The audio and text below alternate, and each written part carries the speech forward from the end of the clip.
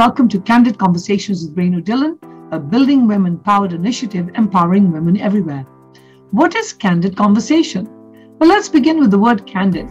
Candid means straightforward, frank, and truthful. What does conversation mean?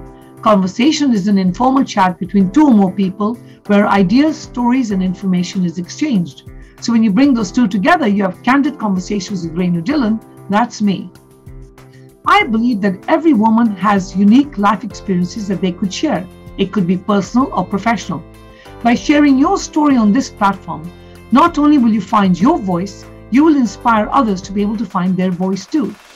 Through these personal stories, which are unfiltered, uncensored, and straight from the heart, women will empower other women to make incredible things happen. My goal is to empower you, you empower me, and together we empower women everywhere. I want every girl and woman to know that her voice can and will change the world. So if you know any woman that has a story to tell, then please reach out to me and my information is on the screen right now. Marilyn Monroe said, Give a girl the right pair of shoes and she will conquer the world. I believe that when you give a woman the right voice, she will conquer anything and everything. Let our voices be that revolution for change. After all, a woman is a full circle because within her she has the power to create, nurture, and transform. Enjoy the show.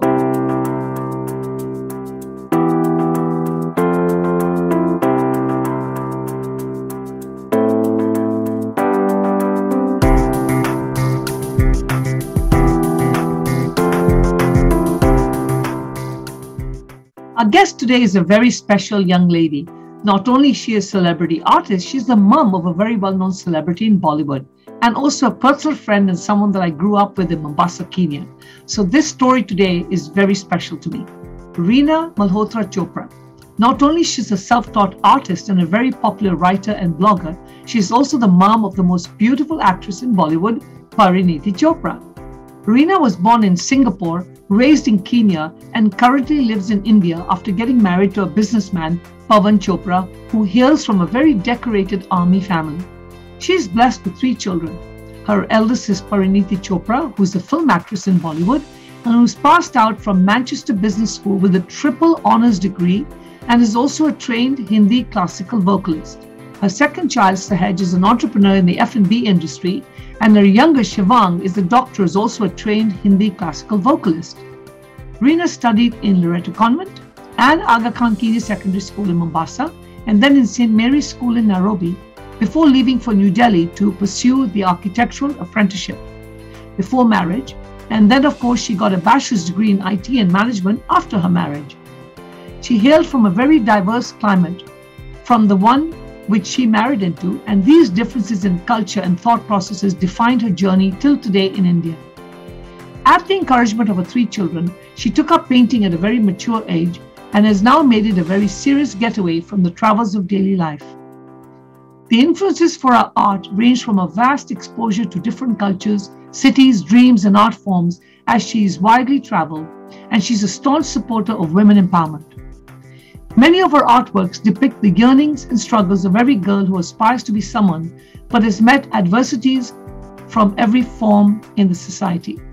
She dabbles in oils and acrylics, but really enjoys the transparency of watercolors as well. She has a varied portfolio of themes with non-conformity to any particular style, and her paintings are an outpour of emotions and a challenge to try something new every time and test herself. She has sold her artworks in India, China, Kenya, Paris, USA, Amsterdam, France, England, Dubai, Canada, UK, Bangladesh, and India, and exhibited her work in many exhibitions all over the world. She's now headed to the World Art Fair being held in Dubai this month. I'm so excited to have this candid conversation with Reena Malhotra Chopra. Let's find out her journey. Enjoy the show.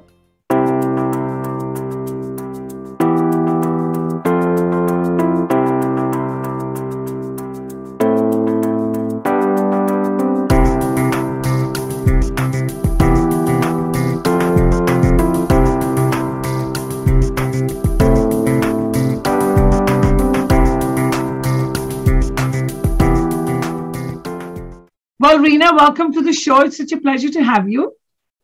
Thank you so much, and thanks so much for inviting me to the show. And I know you're a very, very busy person in your own right, doing a lot of incredible things. So for you to have invited me, it's quite a big deal. Thanks a lot. No, for me, it's an honor because, first of all, we go back many, many years. And uh, I was talking to your sister Ashima the other day, and I was telling her that uh, who would have thought? I thought this trip was so perfect uh, when I went to Kenya that we connected after, I think it was 45 or 47 45 years. years. Yes, yes, yeah, yes, absolutely. 45 years. So that's an amazing uh, uh, journey that, you know, we've all reconnected and we hope to keep this connection going. So first of all, thank you. And of so, course, um, I'm always intrigued to uh, hook up with my friends and also find out their journey. And you've had an incredible journey from this little girl in Kenya. Um, I know you were younger than Ashim and me, and uh, we're not going to talk about if we bullied you or not. but um, to a celebrity artist today, celebrity mom. So, you know, just like myself, I know there are a lot of other women out there that want to know how. How does Reena balance these two years, celebrity in so many different ways? How do we do it? So let's first begin with your journey. Let's talk a little bit about. I know you were born in Singapore and then raised in Kenya. Um. And then what happened? When did you leave? What was your journey? Yeah, well, yes, you rightly said my father, of course, was an, an insurance man and uh, he moved to Singapore in 1964 where I was born. Mm-hmm. And after a couple of more stints in different countries, we landed up in Kenya in 1971, I think it was. So right up until the time I went to college, I was there and then uh, I was sent to India, like Ashima, and we both sent to India to complete mm-hmm. our university, right? Because at that time, Nairobi University didn't really have much uh, right. being offered. Yeah, so that's how I landed up in India, and I did a I did a three year uh, degree in uh, architectural apprenticeship, which is basically involves the the uh, you can say the fundamentals of architecture along with interior design, etc. Yeah. So you got into art at that time. You started. Is that kind of? Do you feel you got any artistic uh, skills from there? No, you know, I think all all through my life I was pretty good uh, with a pencil because even when we were in school we did those all those geography diagrams and stuff in the bio diagrams and all. I had a very clean hand and I used to love sketching, etc. So I think I was one of those nerdy types who really went into detail with every diagram, and that carried forward even later on uh, after I got married and I had kids so in hmm. India, normally when the kids are given projects and all, you know, the mother ends up helping them out a lot. Of course, of course. So you know, I worked. I I used to love working with them on their posters, their projects, etc. So I think I always had an inclination, but I didn't really do it or learn it formally. When I got into architectural apprenticeship, yes, we did have one subject which uh, entailed a bit of fine art, but it wasn't learned. It was just like putting your own uh, know-how onto paper when you're actually doing the drafting and all for. Uh, uh, for building. You actually didn't go and actually do an art class in a no, no, no, paint no, or no. watercolor paint. Uh, uh, not really. We were taught the fundamentals yeah. of fine art so that we could apply it to our drafting, mm-hmm. etc., mm-hmm. to our uh, architectural diagrams. Right. But it wasn't like proper fine art class or something. Yeah. So, so then you get I, married. Uh, of yeah. course, nosy, nosy woman. Was it love marriage or an arranged marriage? well, actually, honestly, it was. Uh, I wouldn't call it a love marriage, but it was very much an arranged one because uh, my husband's brother was very well known to my uncle, and they used to hang out a lot together. And the Pawan and his brother used to sing on stage. Mm-hmm. Uh, my, my brother-in-law was uh, Priyanka's father, in fact. He was an army man, right? So they used mm-hmm. to do a lot of charity shows for various army uh, welfare uh, associations. You know, like for the AWA women or the AFA women, was the Air Force women or the Army wives welfare staff or charity uh, right. you know, old age homes, etc. So they used to do a lot of these shows, and that and they happened to be doing one of those in Delhi when I was in college. So my uncle took me along, knowing that I was a real lover of music and all, and uh, so I saw them perform uh, Priyanka's dad there and then, okay, who is she? Like, he says, she's my uh, brother's daughter. They live in Kenya. Oh, okay, fine. All right. We've been looking for a girl for Pawan. Done. It's all done. so there was no questions asked. No, would you like to? No, no, it's done. I'm really done. Forget it. Call, call up your brother. We're going in for it. So it was literally like that. wow. But it was, it was amazing. Both of them were such great singers. Pawan in particular sings a lot of Mukesh, who was my favorite singer mm, ever, ever, ever. So I guess yes, it was you and a very attractive man, of course, a very nice person. Uh, so it was it was good. It was it all kind of worked out. But of course, I, I was I still was led in, uh, uh, you know, by my uh, throat, you can say, because I wanted to work. I was very good at my work basically, and already had some job offers in Delhi, and I really wanted to work. So I was in no hurry to get married, but things just happened. They just got fast tracked and things happened so quickly. So I couldn't actually pursue what I had learned, unfortunately. You know, yeah. just got into domesticity straight away, and I've told you a bit of the background, what kind of uh, right cultural difference it was from Kenya Yes. to Ambala. yes it's a big difference it's a big difference yeah A different world altogether. Yeah, Yeah. absolutely. so um and then uh, I, do you do you moved i think to ambala right Yeah, yeah, yeah. Absolutely. Directly to Ambala, which is a very, very small army cantonment in North India. okay It's close to Chandigarh, which is an enterprising place. Mhm. But Ambala itself is the forgotten land. There's really nothing happening there because it's a center for the army, center for the air force. It's the closest uh, important strategic air force station to the Pakistan and China Okay. border. So development in this area is not allowed. So, So it's you've a been very there ever since? Sorry, You've been there ever Yeah. since, and uh, and now you have uh, three amazing kids. And uh, so tell us uh, tell us about your children. Yeah, so well, you know, my my old eldest is uh, daughter Parineeti, and uh, she's she's she left uh, Ambala after uh, twelfth grade, which is the A levels. She went to Manchester Business School, did a triple honors degree in finance, economics, and international business. She was I real no idea that Parineeti is a triple honors from uh, Manchester. That's amazing. No, she was a very very nerdy child. I mean, she was the kind who was always you know had a nose in her books. She didn't she didn't uh, do all that real fun stuff like you know uh, bunking school or being naughty and all that. But she was she was a fun person. She loved drama. She loved singing. She's a trained vocal uh, vocalist in Hindu Hindi classical Mhm, Hindustani classical. It's called. And uh, when she when she passed out of Manchester, her story is all over the internet because it just happened to be, unfortunately, during the recession. So her job offer with some of the biggest uh, names that time, Morgan Stanley, etc., Mhm, they mhm. fizzled out because uh, permits were not being dished out Right, and kids were being sent. So she had to come back from London, landed up in Bombay, but her degree and her capability got her a job with Yash Raj Corporate. Uh, Okay. Yeah. So Yash Raj, you know, it's it's a global venture Right. and all that Right. It's gigantic. So she was very lucky to get into the corporate sector. So she worked with them as a senior PR executive and manager for two years, in fact. So she didn't even go right into acting. She actually was working behind the scenes. act, acting was the last thing on her mind. In fact, she'd feel offended if somebody used to compare her, you know, let's say uh, her uh, ambitions to Priyanka, say that automatically you'll also get into films. Mhm. She used to feel very offended because she thought she was a very clever girl and she'd definitely become an investment banker or something fancy like that. So that was the last thing on her mind. And she was a little plump, happy go lucky, funny kind of a person, jumping around all over the place, never even interested remotely in acting. She never even consider herself the kind of person who would aspire to be an actress, not typical heroine and all. Right. But she right. wasn't. You know? So it's nothing wasn't that she ever told you she was a little Yeah. girl. She never once all. told me she's a little girl, I want to be an actress. Never, never. She always wanted to be an investment banker or something. She, I told her she's a, she was nerdy with figures. Right. You know, right. Even, in her A levels, she was actually awarded a 0.1% of her merit award fro- by the president for her 97% in economics, etc. Amazing. She was that kind of a kid. Yeah, she was that kind of a kid.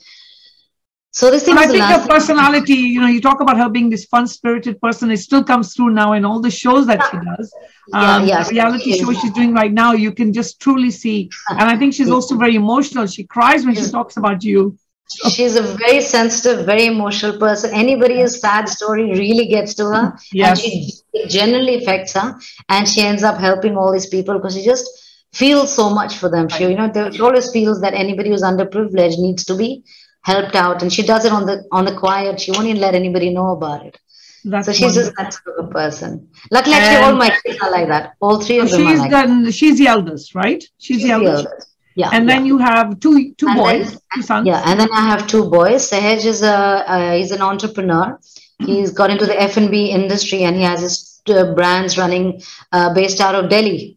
Uh, one one is uh, fast food and uh, momo bubble tea brand called Fat Hmm. Tiger, Okay. and another one is uh, he explored the uh, very typical old-fashioned uh, Mughlai Indian food. You know our roots from our Okay, roots from our right. forefathers. Mm-hmm. hmm it's- called Old Delhi and it offers all the very traditional recipes in Indian and Mughlai food. So he's working on those right now. Yeah. And he also introduced uh, Millie's Cookies brand from UK into India. Was the first one to do Okay. so. It was already run very successfully in UK, and then he brought it to India as well. Amazing. So he's taken that direction, yeah. And my little one is uh, he's a doctor, not so little anymore, but he's a doctor, and now he's gonna go ahead for his masters, etc. So here, raising three amazing children. When did Yeah. you figure out, you know what, I have it in me to do this art? I mean, today you're a celebrity artist, you know, you're sold paintings worldwide, taking your work everywhere. When did that, you know, women always wonder, you know, we spend a lot of our time raising our children and putting our dreams and passions aside. But then there's always that awakening sometimes you get, and some women never pursue it. So I think I would Yeah. like to know when did that happen to you? And when did you say, no, you know what? It's time for me. It's time for Reena now. When did that happen? Well, you see, honestly, I, I I would say this much because I got married to a very traditional family in the sense Right. they were from an army background, etc. But my mother-in-law was a traditional lady. She wanted somebody to run, look after the house, look Mhm. After you know Mhm. the family, look after everything. So I had to put all that in a backseat, whatever I'd learned till then. But all these years, I think if you raised your kids right, they turned out to be amazing human beings. And honestly, it was these three kids five years ago who suddenly said, Mom, we're all grown up now. We don't really need you the way you you think. You don't have to be waiting hands and feet, uh, foot on us, you know. We're doing our own things. High time you also got out of that, you know, drudgery of just being in the kitchen all the time Yeah. and just, you know, hanging around Papa and just waiting for us to, you know, our meals and stuff. Do something for yourself now. And Parineeti, in fact, was the one uh, who coordinated from Bombay, and she got these boys traveling to Chandigarh. She says, "Mom loves uh, drawing, etc., painting, whatever. Let's get her back into that as a hobby. Let her develop a hobby of her own, rather than you know spending all her time just hanging around waiting for all of us." So these guys ended up on my birthday, surprising me with a gigantic room full of uh, artist supplies. They had no Oh, clue what an art. Yeah, they don't have no. They had no clue what an artist needs. So they walk into the store and tells them, "Kya kya chahiye hota for an artist? What do they need?" He says, "All right, you need easels and canvas and paints of all sorts and pencils, etc." They said, "Okay, pack the whole lot. Whatever you can think of that an artist would need, just give it all to us." This so is my only bed- five years ago. This is five years ago. Wow. Yeah. Okay. Yeah, yeah. So uh, when I walked into that room and I saw it all there, like for a second, I was overwhelmed, of course, but my heart sank. I said, these kids have done so much and they spent so much money, and I haven't picked up a pencil in years. What am I going to do with all this? Yeah. But it's, that's how it started. It was literally that. It wasn't even me saying, oh, I need to do something for myself. Mm, mm. Nothing quite so enterprising. Again, I was, as usual, putting myself, you know, uh, behind everybody else, you know. And it was them who pushed me that, no, forget it. You got to take the time out. You got to do this for yourself, for your own sake. You need, it's going to be your pastime, your hobby, your meditation, your me time, basically, you know, because you're just always just waiting for us to leave, for us to come back. And you need to now have something more to look forward to, something that you do for yourself. And honestly, it's been the best thing that have ever happened to me.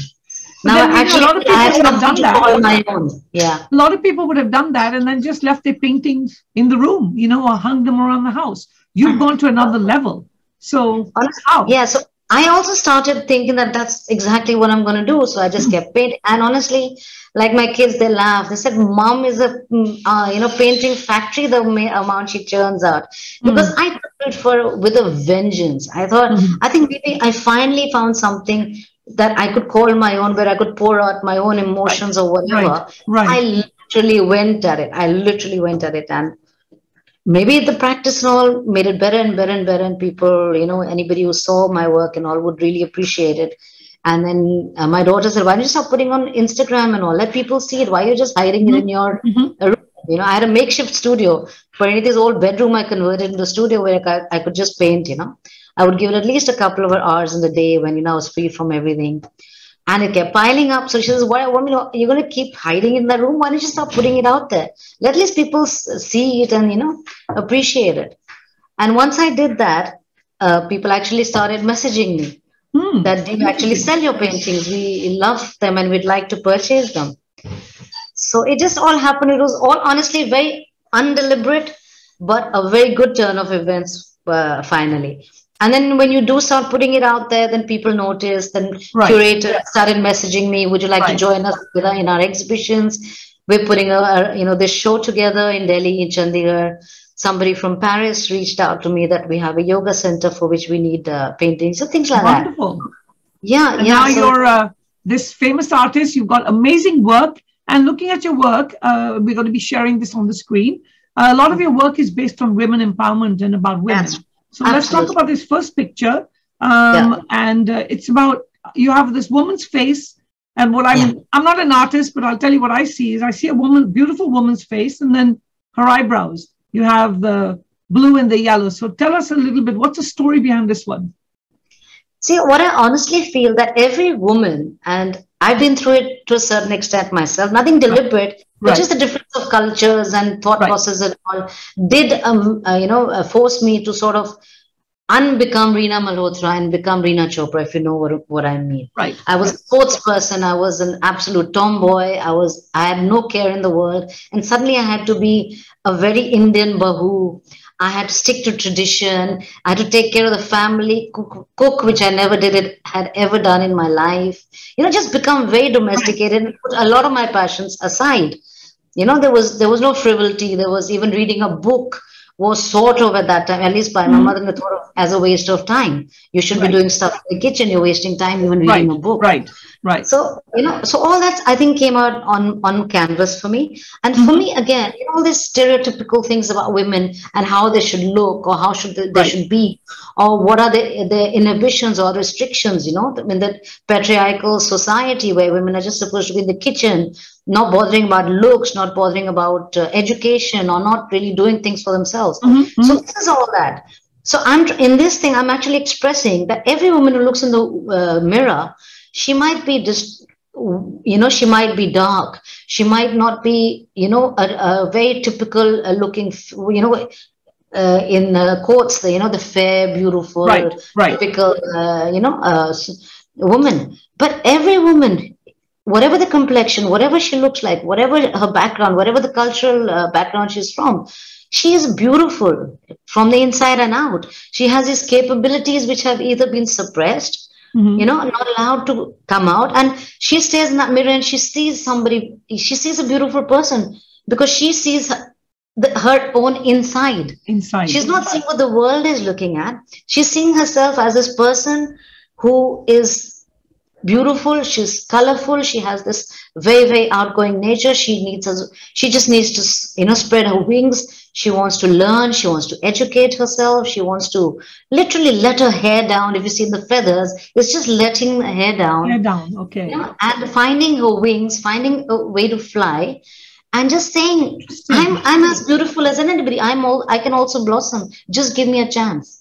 You know that sort of a thing. That's a beautiful story, yeah. And then the next one, you have a silhouette of a face with um, a book and glasses. Mm. So what's the story behind this one? Yeah. So I I would be I would be cheeky enough to say that's actually me. Okay. in this in this sense, I was also this young girl, this 21 year old who got married. Mhm. and whose only passion was again i was quite a nerd reading you know things like that right. and and i brought a whole lot of i think a thousand plus storybooks into my into my house which was actually made a joke of even today the arena came piled armed with books and all instead of clothes and jewelry but you know that was my passion but like i told you um, when you're in a household or in a joint family in a household uh, with so many members of the family or with a Mhm. traditional mo- mother-in-law running the place these things were actually con- thought of as being a bit of a waste of time you know Right. so so that's that's actually me. That's a distorted Reena Malhotra. Mm. you know that's a distorted who just wanted to block out can you see that? Yes. block out voices from her head telling her she can't do that and she can't do this. And she just wanted to read she wanted to write she wanted to study she wanted to you know just bring herself up with the world and block out all kinds of voices who said you can't do this and that. So that's actually me. Wow. That's amazing. yeah. and i think lots of women are like that in the Yes. world Yeah. there's so many women who, who come with certain dreams and then because they have to adapt to a new family or a new kind of a atmosphere they have to change all their thinking And you know, Which it's funny you say that in the group that we've started, the Building Women Empowered, that's the message that comes through with so many people. And Yeah. uh, I've noticed the trend is that women start discovering themselves much later on or, or eventually that awakening happens where you said, I've had enough. Now it's Yeah. time for me. You know, and it happens in your 40s, 50s, but it happens. You know, people just get tired. That's mostly I think it happens post 45 because by that time, those who have allowed themselves to be bogged down by domesticity, by that time, the, right. the kids have flown the nest. Or, you know, the elderly have unfortunately passed on or Yeah. maybe passed the baton to them. And now they're running the house or whatever. And they have the time or Mhm. even the maturity now to deal with things a lot better, balance things a lot better. They're no longer scared of their peers. They've, in fact, probably sort of worked out something Mhm. with them made a space for themselves or time for themselves so that they can balance both the worlds themselves as well as the family whereas when you're very very young you don't even know how to do that i mean i had no clue how to do anything i just did whatever i was told to do you know no no arguments no questions asked Right. by the time you reach the 50 you realize okay half your life is gone maybe three quarters of your life is gone and we really haven't done anything that we can call ourselves Right. you know, we've always been a wife, we've always been a mother, we've always been a daughter. But when are we going to be us? You know? Yes, absolutely. And I really Yeah. hope that the next generation can change this or the current generation can I just start already- doing what they want to do. I think they already have. They already do. And the best thing about this generation is uh, they actually encourage their parents to do Yes. stuff as well. Yeah. Because we still tend to hold ourselves back due to whatever, um, you know, Mhm. X, Y reasons. But they say, why? Why can't you travel? Why can't you do this? Why can't you go out? Why can't you dress well? Why can't you wear the stuff you want? Why can't you visit the places? My daughter keeps telling me you shouldn't have a regret on your deathbed saying, Oh, I wanted to go to Switzerland and I didn't. You know, Mhm. I wanted to so and so and I didn't. Do it all. Do it today because you don't know what tomorrow's all about. Right. So she, in fact, pushes me so much because every time I get stressed out about a situation, I, and I call her up, I get the scolding of my life because she says, Mom, what the hell is wrong with you? You know, Touchwood, you have the means, you have the capability, you have the talent, you have people who support you, you have a family who supports you. All you need to do is get your head around, uh, wrapped around, and just go and, And do just it. do it. Right. The only thing that's stopping you now is your mind because you can't blame anybody else. You can't blame us. You can't blame any old, you know, oldies. They've all gone. They've all passed on. So now the only thing holding yourself back is your own thought process. And if you if you're worried about anybody else not uh, being with you in it, just just it's fine. Just tell them I've got to do this. I got to do this for myself. I think the important thing is learning to say no. Just Yeah, learning to say no. It's exactly. time for me. Yes. Yeah, yeah, absolutely. We struggle with that because you're trying to fulfill, we want to please everyone. And Absolutely. in the process, we don't please ourselves. We don't So- raise us- absolutely. So this generation is already there. Honestly, Yes, yeah. they're already pushing their parents to do it, and they're doing it themselves. And I'm sure they will uh, even with their own kids. It'll start even sooner Absolutely. because that's how they've been brought up and all. That's how I can go on and on about your paintings. Um, I know you're on your way to a show. So this last one I want to talk about is uh, cityscapes. You have a the face, the rainbow colors on the face. Is this Reena as well? no, I don't think Reena. It's Reena because honestly, Reena wasn't that flamboyant. In a sense, this, the, now here what I'm talking about again is uh, the difference between a small town life and a city life. Mhm. You see, like now I got I came from a city, got married into a small town kind of a place, and a very, very laid back, old fashioned small town. And then I then I think that when in a city, in a city, when you're looking from the, as an outsider into uh, the mystery of a city, basically, you know, what lies beyond those walls? What lies in those high uh, rises and all? What's happening there? What kind of life is being led? What are the women going through? Are they happy? Are they not? Are they having this really amazing, colorful life where they're doing they're bad? You know, are they are they good girls? Are they bad girls? Are they really doing what they wanted to do? You know, so that's why I call it colorful life in the city Mhm. because you know in I, I personally know so many stories you know about cities where things go on that you can't even uh, imagine. And then you think oh my god coming from a small town is that even possible? How does that even happen? So now you just kind of yearn to have that colorful life where girls have no inhibitions they're following their dreams they're having fun they're having a drink in the evening they're dancing they're having you know they're going out with their friends they're working they're pursuing their dreams etc etc so that was like you know the the, the opposite side of the thing for me coming Right. from you know being in a restrictive small town kind of scenario Well, you know, I commend you for your work. I mean, it's such unusual work, and to be able to see your how you're empowering these stories about women and truly touching on the sensitive points about what women feel and many times they don't express. And that's why I love art. I'm not an artist by any means. I do art for kids, but I also find that even doing it for children, they express their emotions through color, through what they put on Absolutely. paper, and you can figure out exactly what's going on in a child's mind when you just give them a choice of colors. You know, Absolutely. whether they pick multicolors or they pick only one color to to do their work. Yeah. Absolutely. Yeah, that's wonderful it, that's what uh, whether you pick up a pen or whether you pick up a brush it's basically right. your emotions that get transferred to paper or canvas like even when i write i'm a blogger as well right i was going to ask you that next i have a blog so a lot of my stories there are again experiences um, I, I translate some of my weird experience even through humor so that mm-hmm. you know because I, I love I, I love funny people. I love you know being humorous and i think that's the best thing you know laugh about your situation because the, if you don't you just kind of it's, it's like a vortex. You just get pulled into it. So i you think turn it into a story turn it into a journey. Yeah. Yeah. Yeah, yeah. laugh about it basically. Yeah. Um, we definitely want to be able to know that uh, we're going to be sharing your blog pages and your Instagram pages here soon. Soon. So one of the things I know everybody is again intrigued to know so Reena, celebrity artist, she's also a mom of a celebrity daughter, right? Um, how do you how did you feel when Parineeti? Because uh, a lot of you know our culture is very different. A lot of people when they their daughters express they want to get into Bollywood, the first thing is, oh no, you can't do it, and that's a very stressful journey to take.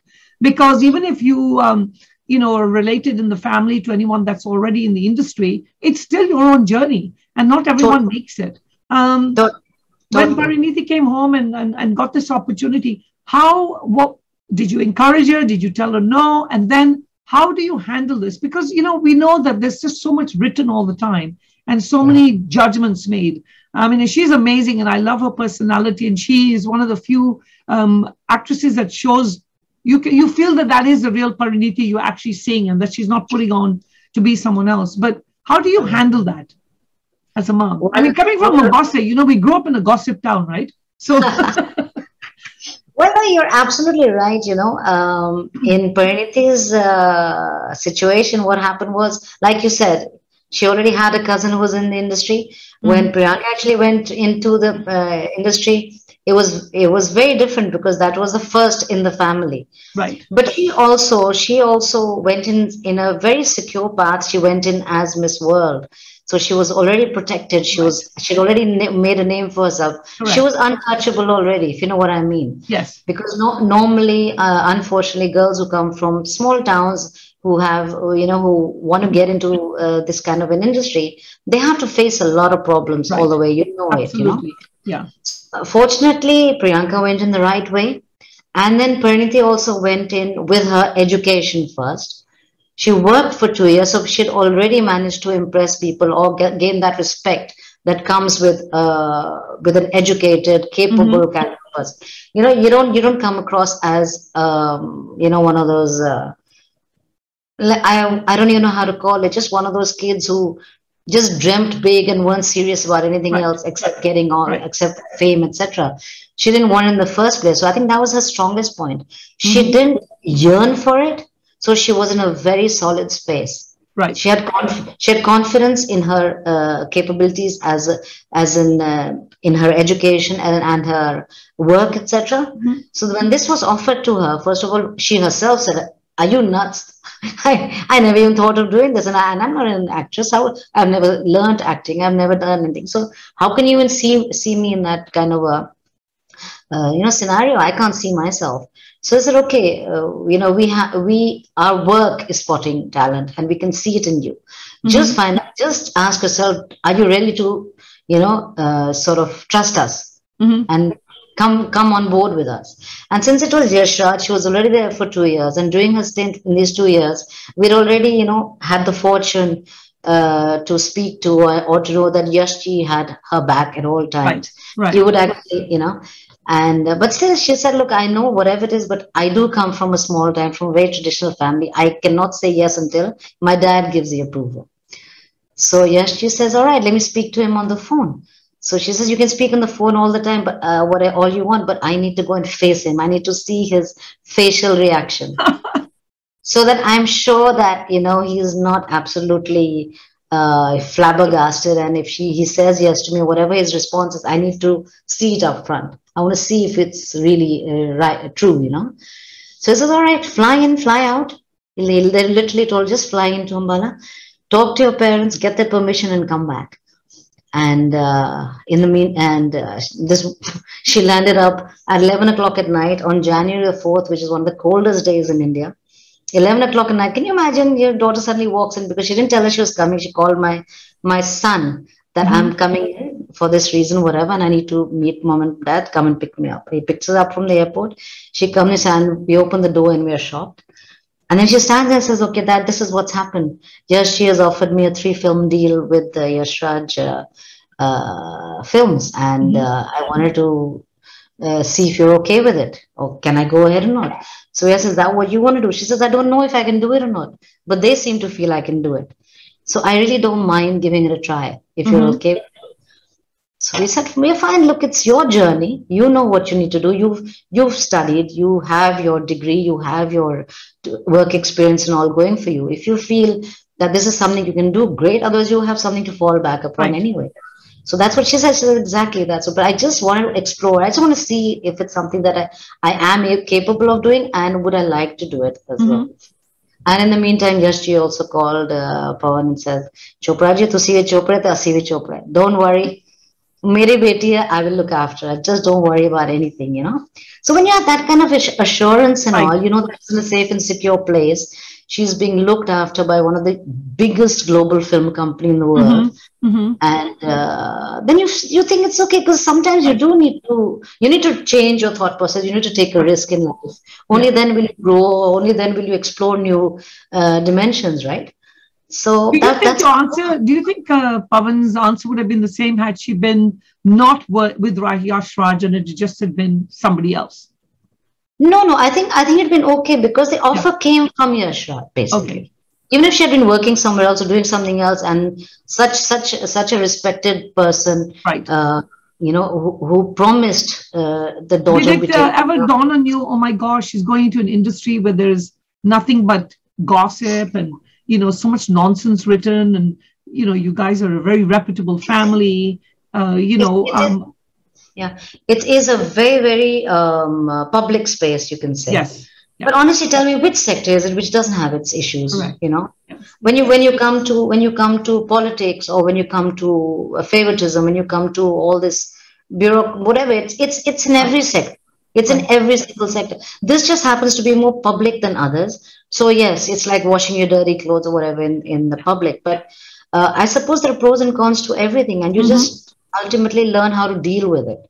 Initially, yes, I think you hit the nail on the head. Learning how to deal with it is so important. Yes. Initially, we would, of course, get a little upset with things that are written, and you know, we'd call her up and she says, "Mom, that until I confirm anything, just don't believe anything you write. Right. Yes. Anything you need to know will come from me." This is all media. This so is that trust factor is very important in your children. Absolutely, absolutely, absolutely. Very important to have that trust and full faith in them to understand that you know, yeah. and if you've raised them well enough, they'll come back and tell you themselves. That's exactly. So fortunately, I think we raised them well enough, and then their own, they're good human beings. My kids are good human beings, and very very mature, and uh, not easily taken in by any of these, you know. Um, what's that word? These little uh, fickle kind of situations yeah. around and on. Right. They, they think they think they know, and then they decide which is good enough for us because honestly, you know, we can trust them to make the right decision. And when and we're always there, right? Even if they need any help, we're there. But um, they have to live their own lives, and uh, luckily they take they make their own good decisions, and we're always there uh, as a fallback, right?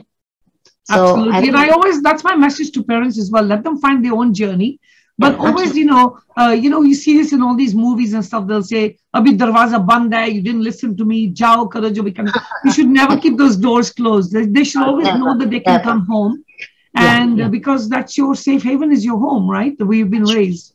But let them find their own journey, even if it's something only, you don't approve. It doesn't matter. They have to find their own space. Absolutely, they can only move on if they know that you know there's somebody behind them. Right with with a cushion for them always. Absolutely, absolutely. So, yes. um, where is Reena heading now? I mean, Reena is this amazing artist, mom. you know, you've got it all figured out. Now, where's Reena? Where does Reena see herself? I think I honestly think you're giving me too much credit for stuff. No, I don't think so at all. I don't think I, so at all. You know, I, I work with kids and parents all day long, little little ones, and I I see so much potential in the children. And uh, what worries me sometimes is I see these little kids that are showing true talent, but maybe yeah, their yeah. parents are in a completely different field. And yeah, sometimes I see the parents are not encouraging art or music at all. Oh yeah, before mm. we um, wrap up music. So now I, I figure out where Parineeti gets her. I, all your kids sing, which means Pawan sings. So you train them in music, right?